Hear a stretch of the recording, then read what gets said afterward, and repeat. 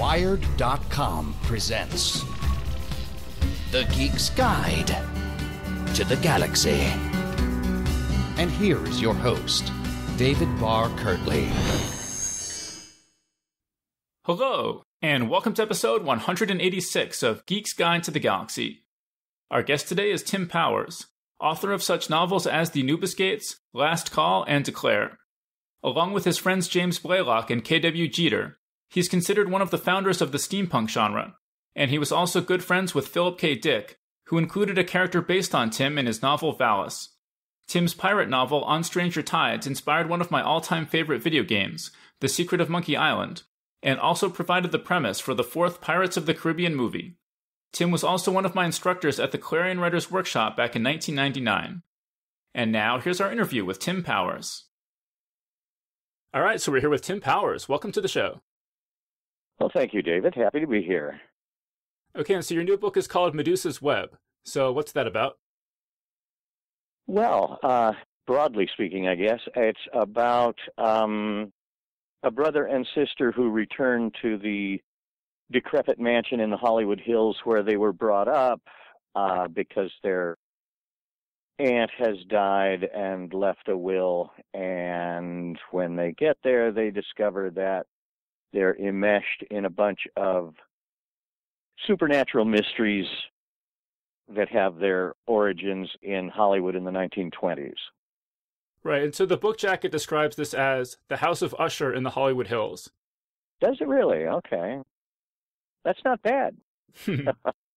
I mean, in, in, what way do you think it's similar to the House of Usher?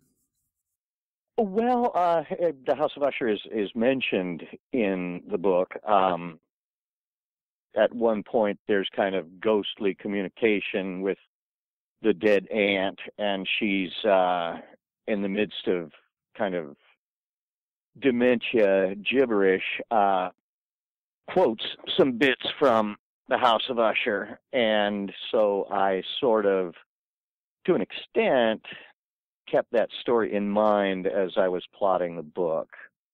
Um, so it's a big, old, uh, the dangerous house uh, occupied by a couple of um, insane and evil uh, uh, people. Right, and so you you sort of have two pairs of siblings too, which kind of reminds me of the House of Usher. Yeah, in fact, one of them's named Madeline, as uh, the sister was in the House of Usher. Right. And so then Library Journal says this novel is as weird as anything Powers has written. Do you agree with that? Yeah, yeah. Um, uh, basically, uh, what the two things I started with were uh, I idly reading a biography of Rudolph Valentino, discovered that it took two priests to give him last rites when he was dying. One priest, you know, came to attend him in his hospital bed and baffled had to leave and come back with another priest in order to do it thoroughly. And I thought that was intriguing. Uh, you know, what would uh, what would constitute an obstacle in that? And then the other thing was that I've always been struck by um, Cordwainer Smith's story, The Game of Rat and Dragon, in which the adversaries were two dimensional. And I was thinking, how would how would two dimensional creatures even manifest themselves, much less pose a threat? And so I took those two things and um, researched very hard into Valentino, which led me to various other figures in Hollywood in the 20s, and also to Aubrey Beardsley, uh, who inspired Valentino's second wife. She was a costume and set designer. And of course, once Aubrey Beardsley came up, the idea of two dimensional things looked pursuable since obviously drawings are two dimensional. And uh, so it sort of went from there. So it, it did wind up, as Library Journal said, it did wind up, I got to say, very weird. Well, so say a bit more about your writing process, because this is how you write novels, right? Is you do a lot of research and you try to draw connections between the odd facts that you discover. Yeah, uh, it usually starts. I'll just be reading some nonfiction for fun, and snag on some fact and think that seems irrational. That seems inadequately explained. Um, wait a minute, why why would the guy do that? And if I run into two or three such snags in a nonfiction book, I start to think maybe maybe you could cook up a, a supernatural backstory in which those enigmatic or apparently irrational actions actually make sense. And as soon as I decide that, it stops being recreational reading. And uh, for example, I almost pursued um, a book on mountain climbing after reading Jon Krakauer's Into Thin Air. And so I got a whole bunch of books on mountain climbing, and it never went anywhere, but uh, it might still one day. but I just read anything connected with the initial, you know, uh, impetus, and um, and I feel free to follow any sidelines that show up. Like if I discovered that, I don't know, if Valentino had been an ardent beekeeper, or if his father had been, or his family, I would have felt bound to read up on beekeeping, looking for weird clues. And uh, as I read in this very widespread net way, um, I'm always looking for odd facts, persons, uh, habits, traditional rituals, uh, locations that are too cool not to use. And once I've got 20 or 30 things that are too cool not to use, obviously I have 20 or 30 pieces of my eventual book. And so the trick then is to connect the dots. So um, I never approach a project with a story in mind and then do research to, you know, shore it up. I always do the research looking for the pieces that will eventually make up the book. I have no story in mind before the research provides it. Right. And then one of your rules for yourself that I think is really interesting is that you say that you can't violate any actual historical fact. Yeah. Um, that's kind of for two reasons. Um, one, I really want the story to seem to be taking place in this here actual world that we're in. I don't want any hint that it's an alternate reality. Um, I, I want to emphasize, no, it's here. It's this this here reality. Um, and so, uh, sticking very strictly to the facts is sort of a good discipline to. Uh, I mean, because you never know. The the readers are always smarter than you suspect. If I was to deviate from what I know actually happened, I, uh, some readers would say, "Oh, I guess this must be some kind of imaginary world." Um, and then just sort of superstitiously, if you look at it as kind of an arbitrary rule, I think it's, um, I just sort of feel like it's good luck to stick with the established facts and days of the calendar and uh, who was actually where and what they actually talked about. It seems to me like deviating from that reality just for the convenience of uh, an easier assembled plot would be bad luck. Right, right. And now, so when you picked up this biography of Rudolph Valentino, were you a fan of his or a fan of those sorts of films already? Yeah, yeah. Uh, my wife and I are both big fans of silent movies. Uh, her more than me, and she's always telling me, "Oh, you got to read this book. You got to read up on this guy." Um, in fact, Medusa's Web involves uh, peripherally the murder of this 1920s director, William Desmond Taylor. Uh, and to this day, nobody knows who killed him. And uh, my wife said, You got to read this biography of William Desmond Taylor. It's fascinating. And so I did, and I thought, yeah, yeah. Well, now what the hell was going on there? And he was involved with. It was a pretty small world, really, small society then in Hollywood. So he was involved with Valentino and Natasha Rambova, who was Valentino's second wife, and Alla Nazimova, who was a sort of glamour queen at the time, though she wound up in penury late in life. Um, all of them turned out to be fascinating characters. And the, the structure of my book is such that my 2015 characters get to um, meet and interact with those historical people. Right. It sounds like it was a little dangerous being a director back then, because you mentioned this guy Thomas Ince died under mysterious circumstances as well. That's right. I also deal with Thomas Ince's death, uh, which again was very mysterious. Uh, he died on William Randolph Hearst's yacht during a little cruise, and everybody who had been guests on that cruise later insisted that they had not been. Oh, I was nowhere near there. I, I was in I was in New York, um, and Ince's body was taken off the boat and immediately cremated. And then Hearst paid a fortune to Ince's widow.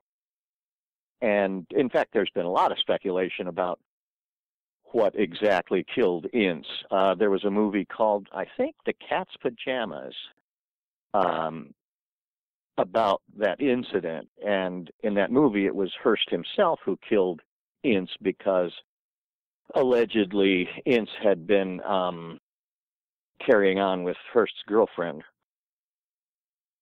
Uh, who was that? Marion Davies. So, what is it exactly that you and your wife find so interesting about these silent movies? Well, uh, let's see. Um, for one thing, it was a whole lot freer. Uh, it was, of course, way before all the codes.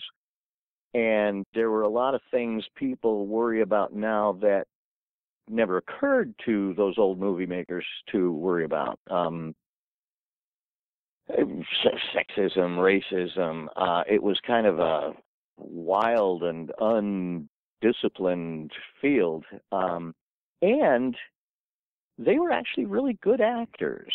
Um, since they didn't have dialogue to convey things, um, people always imagine silent movie stars as sort of mugging and using exaggerated expressions, but um, but actually, um, Lillian Gish, Mary Pickford, uh, many of them were really, really great actors. Um, and it's interesting to see what they were able to accomplish without any special effects hardly at all. I mean, they could do some things in camera, like make someone seem to disappear or, or run things backwards, but um, all the stunts were absolutely real. Somebody had to actually do all those things. Um, and it had the virtue of um, a silent movie could be shown anywhere in the world. All you had to do is uh, change the language of the dialogue cards. Um, it didn't need dubbing or subtitles. It's it's a, a brief. I mean, how long could it have lasted since in 1927 the talkies came in? So it was a brief period of movie making, but um, a lot deeper and richer, I think, than most people appreciate. Right, and so in particular, this book really focuses on this 1923 silent film Salome. Why did you decide to kind of focus on that one? Um, mainly because um, Natasha Rambova, who um, designed the costumes and the sets, um, was powerfully influenced by Aubrey Beardsley. In fact, in the credits it says inspired by Aubrey Beardsley, and um, and because I posit that Rambova and Alla Nazimova, who made the movie, who was the director and star, were both very involved with Valentino, so it was a, a short step to take a close look at that movie. And then once I watched the movie with the kind of paranoid schizophrenic Mhm. squint I adopt when I'm doing research. It was very easy to say that the movie, its details, um, were in fact closely uh, and aligned with the concerns uh, of my book, uh, the the supernatural situation that I say uh, applied at the time to those people. It's a weird movie. It's a it's a kind of spooky, weird, senseless movie. Well, yeah. So, I mean, those supernatural elements are really referenced, I think, in the title, Medusa's Web. Do you want to say a bit about why you decided to title the book that way? Well, the two dimensional things that provoke these sort of possessions or visions or transtemporal interludes um, are based on some abstract things Beardsley did, and it was easy to say that well they they they look like spiders. Let's say they are eight-limbed patterns which provoke this effect on anyone who looks at them. And at that point, I I always start thinking about mythology. I think, well, what do you got for spiders in mythology? And I thought, well, there's the African spiders, but you know, Anansi, the spider African spider god, but Neil Gaiman kind of grabbed that. Hmm. uh, and so I thought, well, what about Medusa? How many snakes were on her head? Let's say it was eight.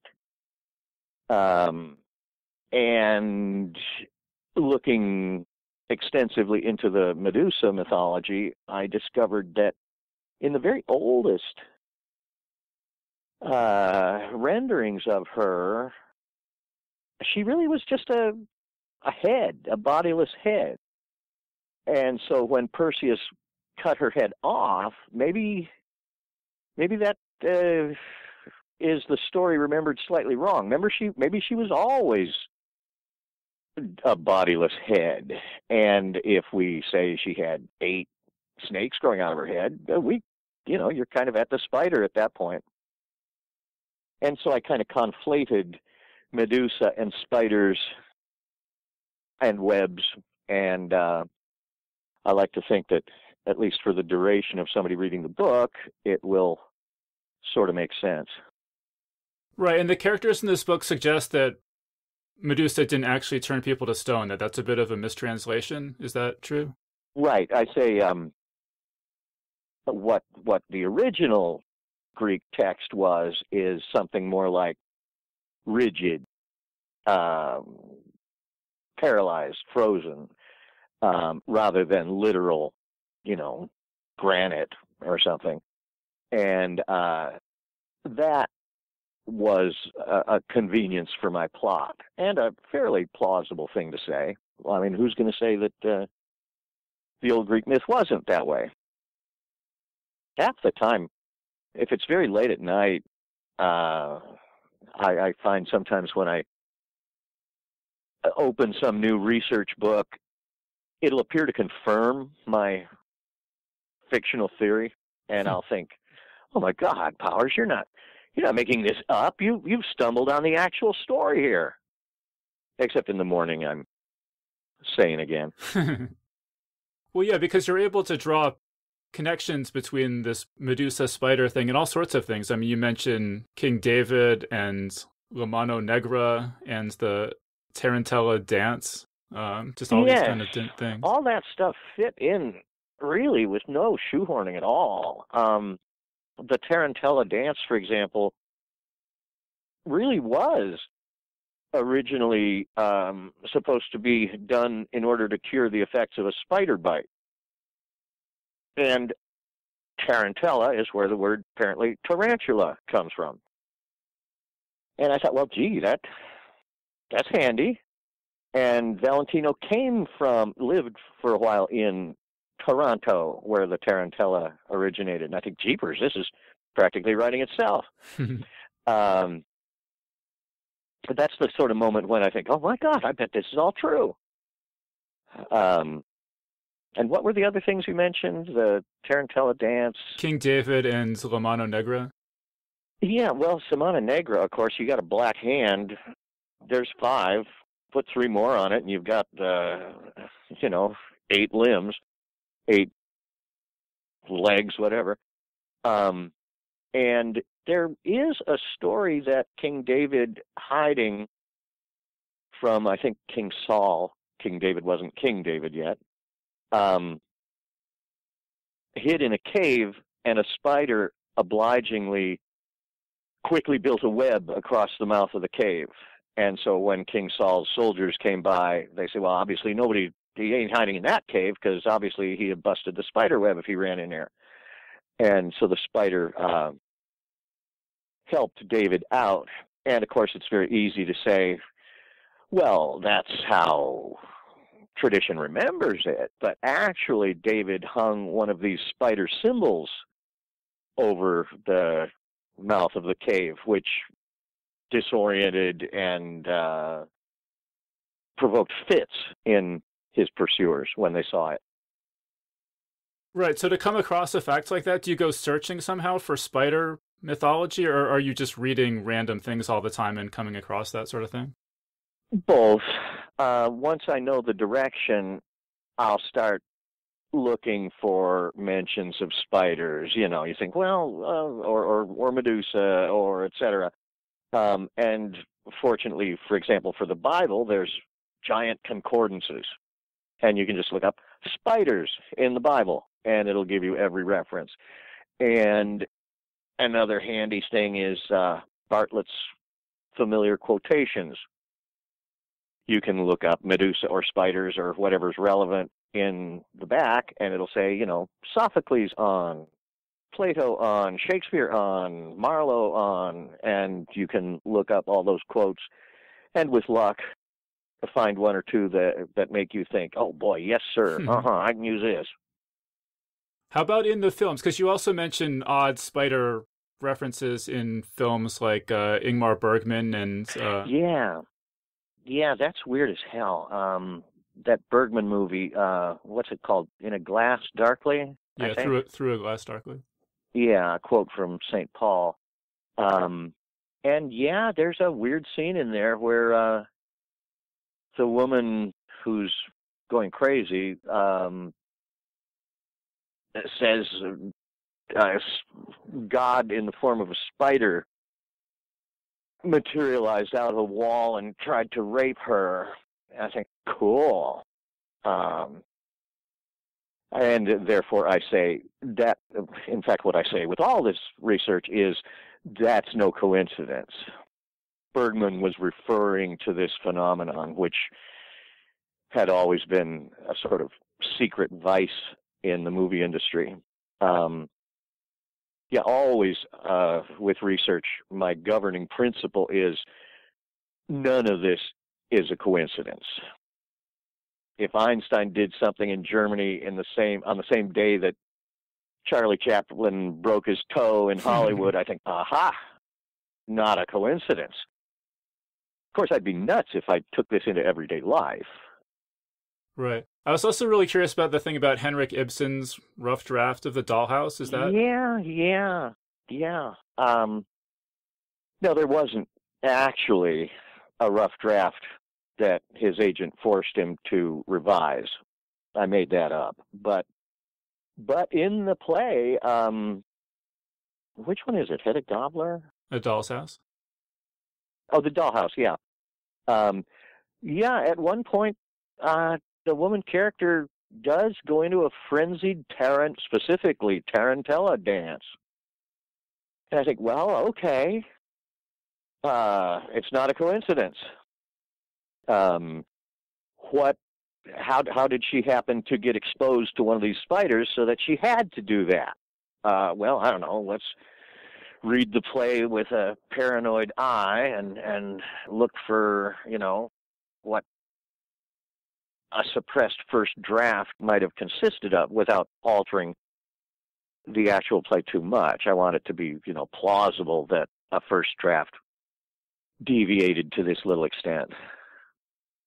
Right, and I remember you telling me that one thing that you do for setting is that you'll drive around and take pictures of all the places that you yeah, and about. luckily, luckily we live just an hour from LA, so my wife and I did drive all over the place. Um, so all all those places are accurately described, and we kind of um, for the house the characters are living in um, caveat. Uh, we kind of synthesized a couple of actual places for that.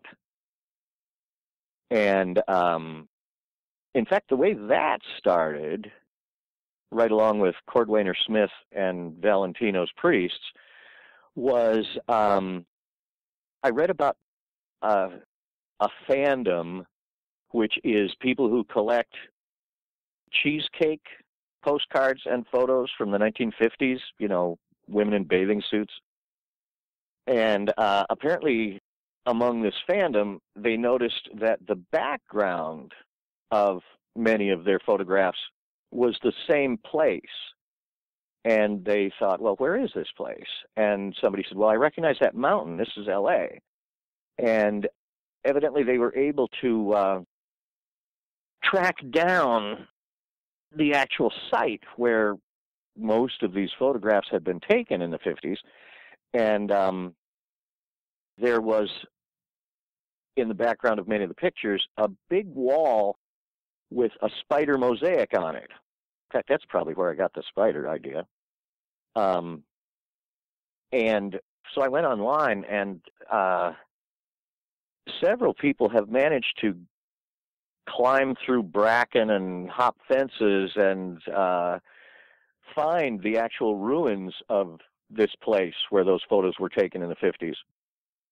And um, apparently, there was once a house there uh, built by a guy who had worked in the movie industry and collected old movie sets. When movies were finished, he would take away the walls and arches and windows and you know from Egyptian, uh, medieval French, uh, Russian, any sort, whatever the movie was, he would grab the the settings and incorporate them into this big rambling house he built. And um, I wasn't able to get to that place. Well, the house is gone now apparently, but um, I wasn't able to get to the ruins of the spider wall itself because it's on private property and um, the owner said no way even after i promised to move it miles away you know uh, but just as well since i wanted to alter it for my purposes anyway right well how about the detail about all the doors from the different hotels? That i got from a place called the magic castle in hollywood. It's a club uh, of magicians, and it, like Caveat, uh, has kind of been assembled from a lot of uh, torn down old hotels and houses and buildings. And in fact, in one room, they do have one wall is just doors that they've collected from, you know, older structures. Um, and when I saw that, I thought, wow, that's kind of neat a bunch of doors, each one from some different old hotel or what have you. Um, it would be interesting, uh, you know, after the place is closed in the middle of the night, to go around and like knock on the doors, see if any come in should sound from the other side. So I grabbed that. But yeah, that was from the Magic Castle. Fascinating place uh, altogether. Huh. Well, I mean, one thing that the characters in the book run into a lot is that these places have changed so much since the 20s, and often the building isn't there, or even the whole hill isn't there. Was that a challenge for you when writing about the 20s? Uh, yeah, although there are still plenty of, um, like, you know, photographs of the missing places. In fact, for Bunker Hill, which was a apparently gorgeous place. Uh, in roughly 1900, it was where all the rich people lived, and there were just elaborate mansions. And then by the 1950s, it had all the rich people had gone elsewhere, Beverly Hills or somewhere, and it had become just kind of rundown apartments and you know junkies and pickpockets. Raymond Chandler said a lot of stories in Bunker Hill, and um, and then in about 1965, Los Angeles simply tore all the houses down and scraped the whole hill off, dumped it in the ocean somewhere, and so now the whole hill is gone. Um, as a kid, I did one time in like 1959 ride the Angels Flight diagonal railway up and down with my dad. Um, I wish I remembered it better. But luckily, online, I found that YouTube is a priceless research tool. Somebody in about 1950 hung a camera outside the door of their car and just drove a grid pattern all over Bunker Hill. And God knows why he did it, but um, it's a priceless record. And I found that there's a lot of old film noir movies from the 50s that used Bunker Hill uh, very extensively. And so I watched a bunch of old, weird old Burt Lancaster crime movies where the plot wasn't much, but I was real pleased to see the backgrounds, you know. Okay, look, there's that house from the south. Now watch this other movie and you get a view from the north and and I wound up getting a fairly comprehensive uh, view of those old missing parts of LA. Yeah, yeah. All right, so I know this book isn't out yet, but have you been getting responses to it from early readers or anything? Uh, Goodreads has some very polite things, um, and there have been a few reviews. Um, but no, really, uh, not not much yet. Because I mean, your wife reads all your books, right? Yes, yes. She she read it, and uh, she always very valuably has things to say like, "I don't understand what they're talking about," or "I thought they were still in the car, but now they're in the kitchen. When did they do that?" Or you led up to this scene like it was going to be big news, but then when the scene finally arrived, you simply walked through it. Very perfunctory. And that's valuable because I go fix those things. And then my editor, Jennifer Brehl at HarperCollins, also had a lot of questions like, why did this guy do this exactly? And my first thought is, well, it's obvious. And then I think, well, no, if it wasn't obvious to her, it's not obvious.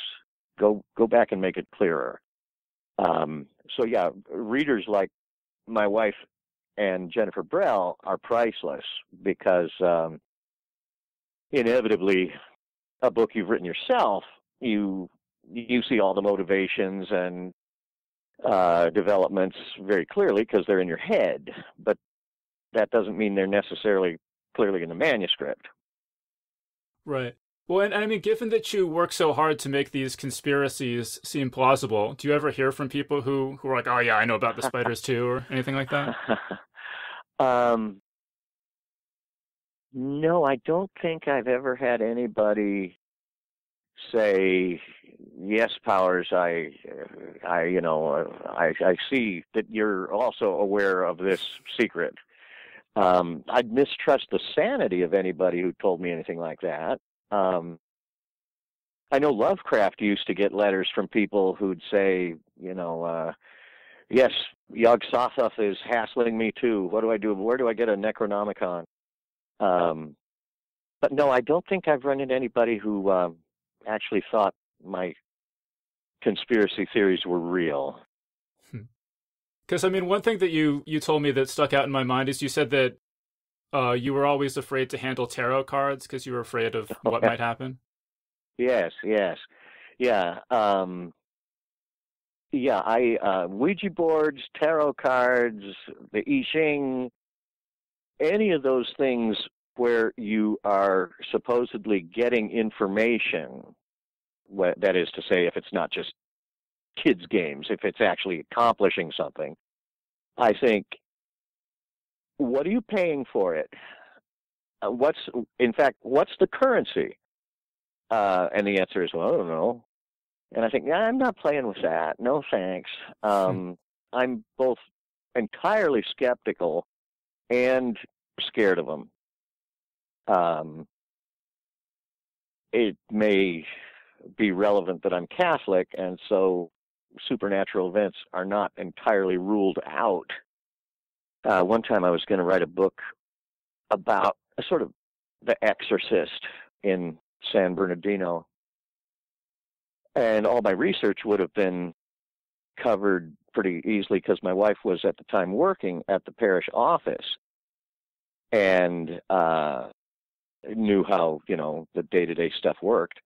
And then I got a book by Malachi Martin, which was actual transcripts of exorcisms, dialogue between priests and devils. And I thought, cool, wow, boy, I've got all my research right here. This is great. And I opened the book, and on the first page it says, the author and publisher advise that anyone reading this book say the following prayer before and after each chapter. And I thought, well, I slammed it shut. I don't need that. Uh-uh, I ain't doing that. um, so it probably helps in writing the sort of things I write that I'm a little bit antsy about supernatural stuff. Very skeptical, but I don't entirely rule out the whole category.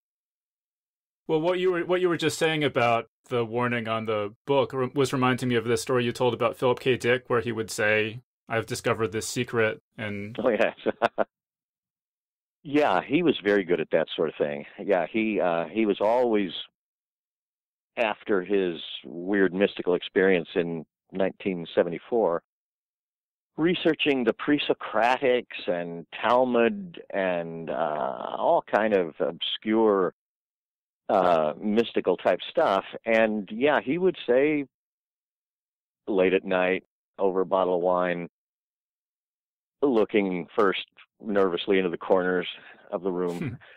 I've my researches have led me to a discovery. I've I've found out something that only 12 people in history have known, and each of them died within 24 hours of learning it. I want to tell it to you. And we say, Sean, no, no, good God, no. I look, I'm, I can't hear you. I can't hear you. And of course, then the next day you'd say, geez, Phil, you're still alive? I thought, I thought, knowing that they, you know, that you die. He said, Phil Power, you were taking me seriously? That was a bunch of crap. What do you, honestly, you believe anything? um, he was always very mercurial in his uh, convictions. Uh, which leads to a lot of inaccuracies about him. People will say, "Oh, he was uh, Episcopalian. He was uh, Orthodox Jew. He was, uh, you know, um, uh, Gnostic." And I said, yeah, for a day. I'd check with him the next day, and he'd be something else. Uh-huh. I mean, it must be kind of strange for you to that that's someone you know, and he's turned into this legendary cult figure. Yeah, it is, uh, and it, it's it's weird to see the sort of um, consensus caricature of him that emerges. This kind of crazed, drug-addled hermit, you know, writing these crazy books all alone. Uh, I think that guy wasn't the guy I knew.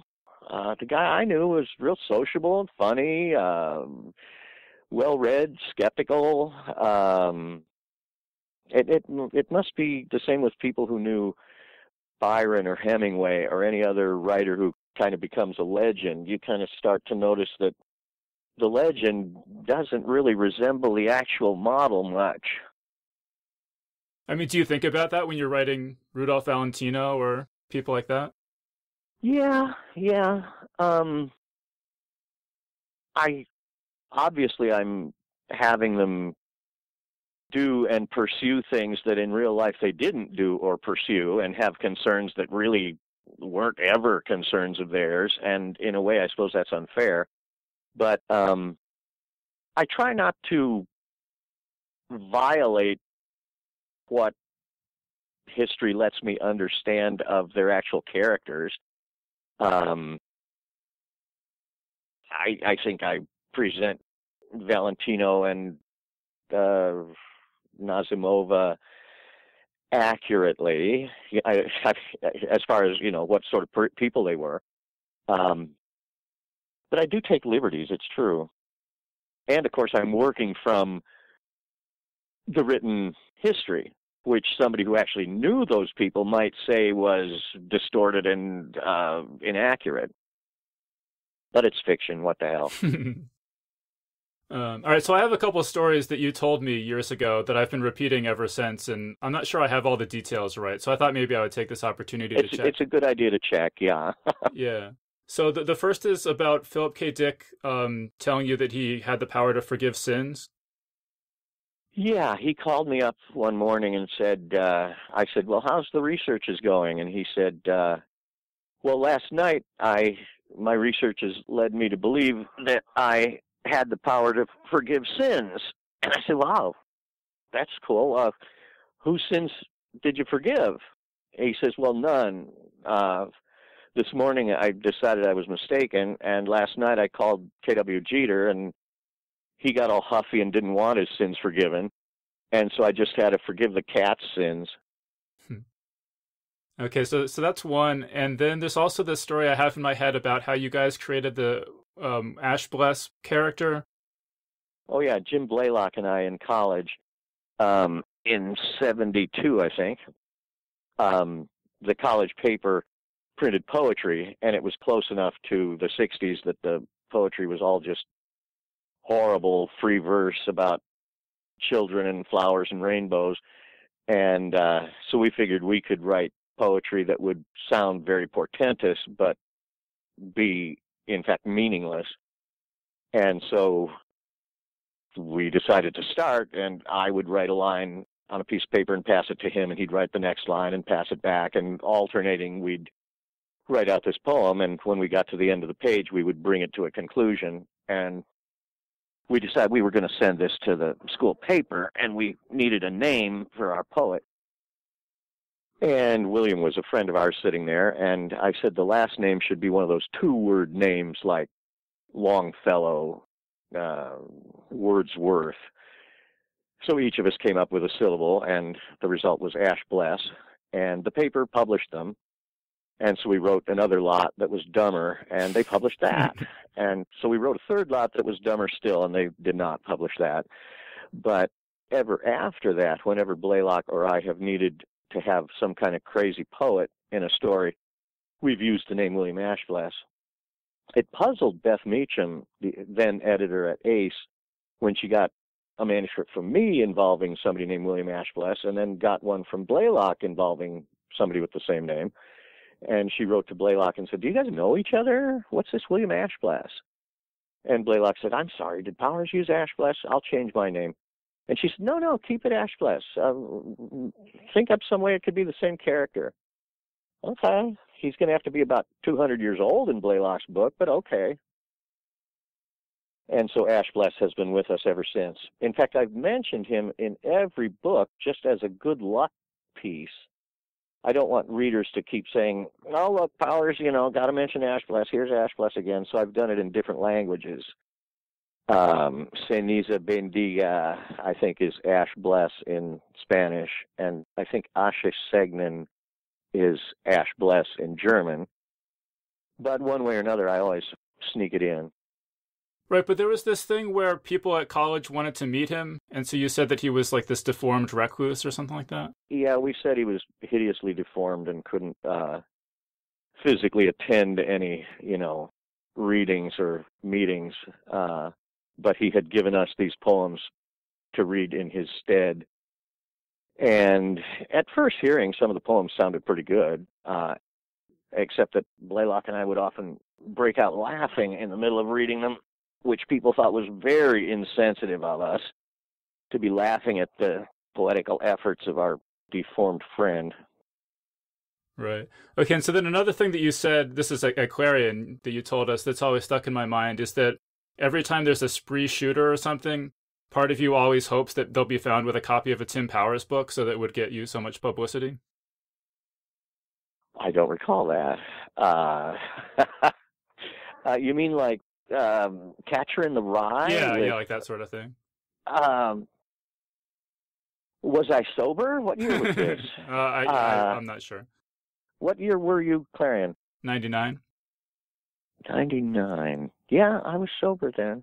Um, well, I suppose. Um, uh, I mean, it it would be publicity. Uh, I'd rather, um, you know, the Pope would be seen with a copy of one of my books in his back pocket. Um, but I remember, um, who was? Do you remember the young lady that was kidnapped at age 12 and not discovered for 18 years in Northern California?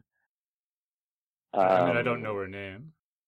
I, I don't remember her name, but when People magazine took pictures of the place she had been confined in, there were a whole lot of Dean Koontz books. I, I wanted to tell Dean, you know, hey, look, you've got a fan. Uh, but yeah, I think I'd rather have the Pope um, be seen with it, or you know, some some sort of widely admired figure. Right, right. Okay, and so then another piece of advice you gave us, I'm not sure if I'm remembering this right, but the way I remember it is that you either want, as a writer, that you either want to get a great job or a terrible job. Do you remember this? Um, I probably said you should have a terrible job. Um, that if you if you want to really pursue writing as a career, it's a handicap to have a good job with benefits and stuff, uh, and you know high pay because no matter what kind of advance you got from a publisher, it would never be enough to justify quitting that, you know, solid gold job. That it's much better to have crappy part-time jobs like at pizza parlors and be a janitor and things like that because then if you sell a book and get an advance it's a cinch to quit um, and in fact i've never actually had a full-time job in my life Okay, and so then when I met you at Clarion too, I didn't realize that your novel On Stranger Tides had inspired one of my all-time favorite video games, The Secret of Monkey Island. I was just curious if you had ever played that game. No, I never have. I've of course heard of it um, because everybody does say, you know, oh yeah, it was the inspiration for Monkey Island. Uh, and there's what some character named Threepwood, I think. yeah. Um, but uh, it was nice of the guy who wrote Monkey Island to acknowledge that. Um, and then, of course, Disney bought my book for the basis of the fourth Pirates of the Caribbean movie, which was fun which in fact was very nice. Especially since they they could have said, Powers, you didn't make up Blackbeard the pirate. You didn't make up the Fountain of Youth. Why should we give you any money? It was nice that they didn't say that. Right. I haven't seen the movie, but I gather that it's not. They didn't take much from from your novel for it. No, just Blackbeard and the Fountain of Youth, and you know, ships, ocean, and the, uh, the title, right? And the title, yeah. Um, and and it was, you know, it got the book back into print and selling well, and uh, and we got to go watch filming one evening. Uh, briefly talked with Johnny Depp and Penelope Cruz. Talked about Hunter Thompson with Johnny Depp. And then we, everybody was very busy, so we ran away and had dinner somewhere. Uh, my attitude toward books into movies is always you guys do what you want i'm not going to hang on your elbow i'll go see the movie when you're when you when you're finished with it but i don't i don't insist that the movie have actually anything much to do with my book though i'm always in favor of it if if they want to do that um, okay and so then another thing that we talked about a lot at clarion because we are you and I argued about this a lot, but you were saying that you didn't like fantasy that was uh, kind of winking at the reader and too oh yeah s- sort of self-aware and things like that. Yes, yes. I think that's part of what postmodernism is. Um, yeah, I hate tongue-in-cheek uh, irony, um, self-referential, uh, anything where the writer in effect says to the reader, well, we both know this is just made up stuff, huh? I mean, we're both too sophisticated and hip to like read for escapism and and and actually worry about the characters and and actually imagine that the story is really happening to real real people in real places, right? Uh, because that's exactly what I do want. I do want to uh, vicariously participate and imagine that it's all actually occurring. And so, anytime a writer is flippant, uh, tongue in cheek, uh, you know, breaking the fourth wall, I I get really annoyed. I think, God damn it! I paid. How much did I pay for this book? I, I, paid for a performance. I didn't pay for you to be winking at me over the top of the page. That's a big cause of me stopping reading books on page two. Uh, sometimes, you know, I'll get advanced reading copies, you know, where they say, "Would you like to write a blurb for this book?" And I think, well, I don't know. Let me start it. And bang! As soon as there's uh, that sort of in joke winking uh, tone, I stop. I remember a George MacDonald Fraser book, which I read because I love his Flashman books, but it was called Pirates, and they're reading a magazine called like Play Rogue or Play Knave or something, which was a parallel for Playboy. And in a sword fight, one of them says, you can't kill me on page four. And I thought, that does it. Thank you. In fact, no thank you. Yeah, I don't like that sort of tone in fiction. I feel very cheated. Right, because yeah, because I used to argue about this with you a lot. Because back in '99, I was in college. I remember. I, was, I, remember we argued about this. yeah, I was really into that stuff. But I, I, I've more and more come around to your way of thinking. And I don't know if you saw the new Star Wars movie, but I totally panned it on this show for exactly that reason. I felt like every scene there was some like, hey, remember this scene from Star Wars? Remember this scene from Star Wars? It... Yeah, I haven't seen it, but I gather there's a lot of that. Uh, not in joke exactly, but in reference to people who have followed the whole series. Um, and I don't like it in Terminator movies if Schwarzenegger says, I'll be back for the second time. I think, no, that's just winking at us the first time it was great, but but now you're just nudging us in the ribs and saying, "Remember, remember," uh, which is taking me out of this immediate story at hand. Yeah, yeah, exactly. Um, well, actually, speaking of Clarion memories, I was just curious if you remembered anything from my year that stuck out, or just from from other years. Do you have? Oh, I miss that place. I miss um, Michigan State University there with that river and the woods. Um, I know Clarion East now is in San Diego, which hardly makes sense. They should call it Clarion South. Um, I don't know. It, all kind of blurs into one. Who was the all, uh, other people in your year? Uh, well, Tobias Buckell and Tim. Oh, Pratt. Oh yeah, yeah, and I think uh, Karen Meisner. Yeah, yeah and John Sullivan. Yep. Yes.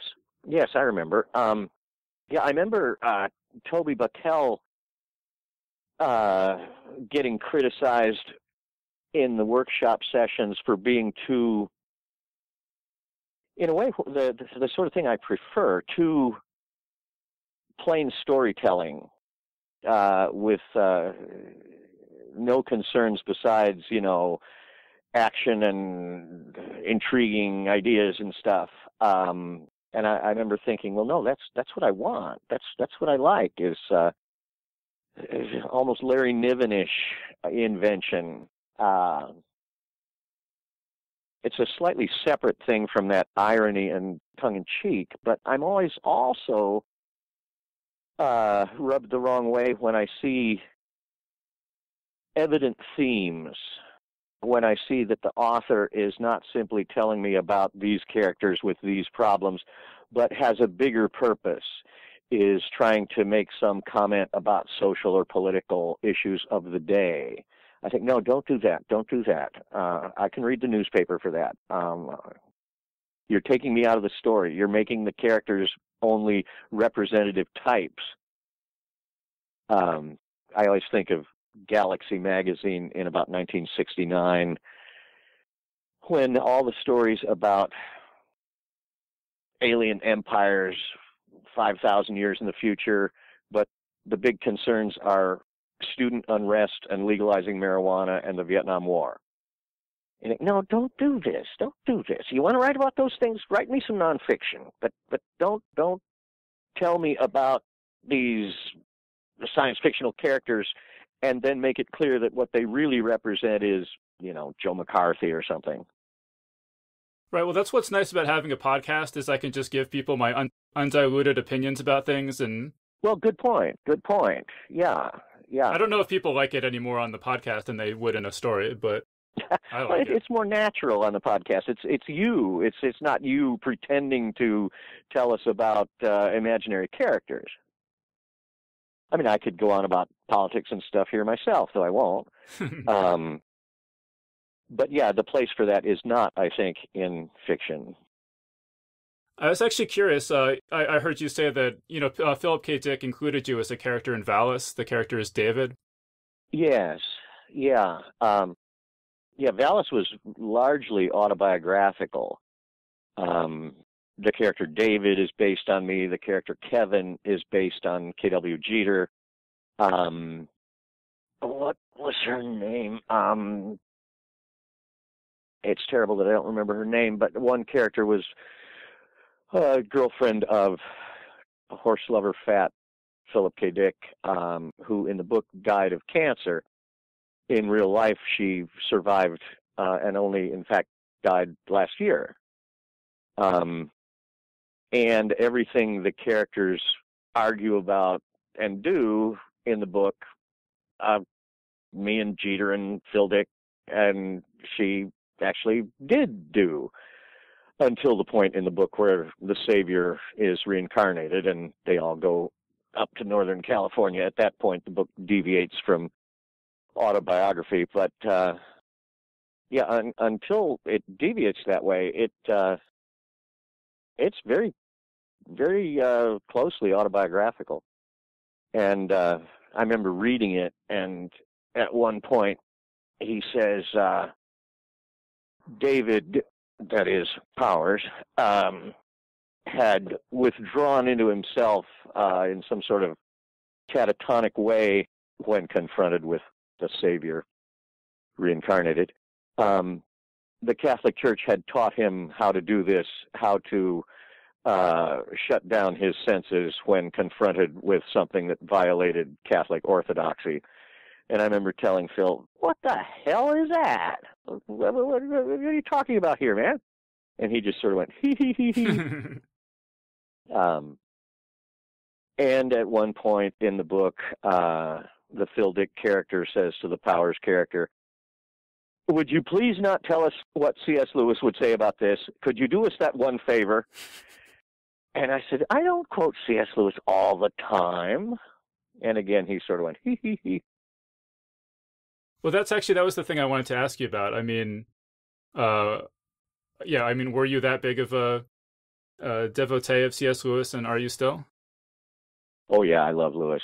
I reread him all the time. Uh, largely his nonfiction, though his fiction's lots of fun too. Um, and G.K. Chesterton. Uh, and I'm still practicing Catholic, not lapsed or recovering.